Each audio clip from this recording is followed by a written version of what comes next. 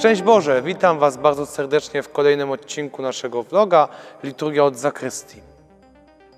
Najważniejszym miejscem w Kościele, najświętszym jest prezbiterium.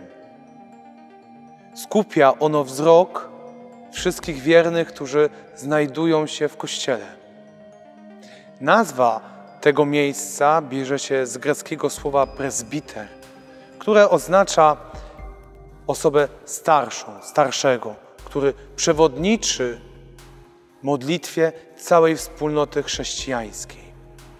W tym miejscu, w prezbiterium, znajduje się miejsce przewodniczenia, ołtarz, ambona oraz tabernakulum.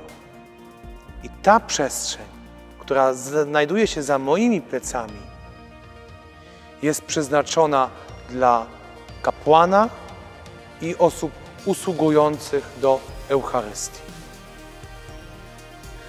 Prezbiterium od nawy kościoła oddzielone jest stopniem komunijnym.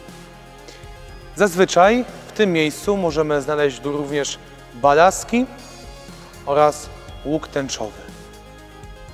Dzięki Wam bardzo za obejrzenie tego odcinka naszej liturgii od zakrystii. Tradycyjnie zapraszam Was do lajkowania, subskrybowania oraz do pozostawienia komentarza. Szczęść Boże i do zobaczenia!